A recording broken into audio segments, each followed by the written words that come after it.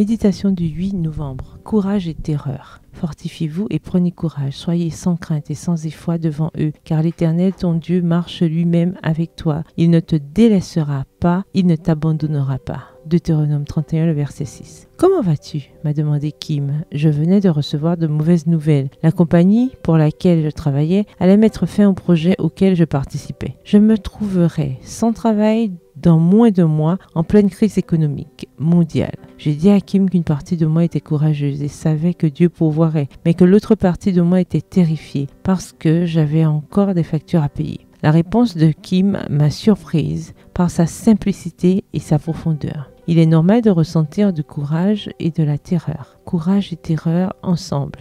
Nous avons l'habitude d'avoir une image du courage qui est irréelle, comme sortie d'un film. Nous pensons à un guerrier avec l'épée dégainée, criant en affrontant seul une armée ennemie sans sourciller. Quand notre courage ne va pas de pair avec cette image mentale, nous culpabilisons. La vérité est que le courage sent la transpiration et a le goût des larmes. La vérité est que personne n'affronte un géant sans avoir d'abord tué un lion ou un ours. La vérité est que le courage croit quand nous faisons face à la peur. Comme l'a dit Nelson Mandela, j'ai appris que le courage n'est pas l'absence de peur, mais le triomphe sur elle. Un courageux n'est pas celui qui n'a pas peur, mais celui qui vainc. Bien que nos jambes tremblent si nous continuons à avancer, c'est parce que nous sommes courageux. Ne nous laissons pas paralyser par le perfectionnisme. Oui, ce serait idéal si nos jambes ne tremblaient pas, mais le courage, c'est comme faire du vélo. On apprend en pédalant. À chaque pas que nous faisons,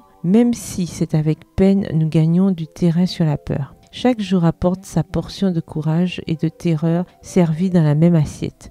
Nous croissons quand nous écoutons l'appel à avoir du courage que Dieu nous fait. Nous croissons quand nous comprenons que notre courage ne doit pas être fait pour faire une différence. Chaque petite bataille gagnée nous entraîne pour la prochaine et renouvelle notre foi. Quand nous osons combattre, même si notre technique de guerre n'est pas tout à fait au point, Dieu requiert du terrain dans notre âme et nous, libère de la tyrannie de la peur. La solution à la peur n'est pas de rester planté là, mais de continuer à avancer avec courage et terreur.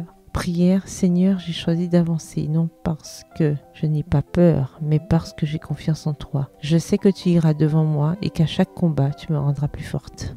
Amen. Bonne journée, que l'Éternel vous bénisse.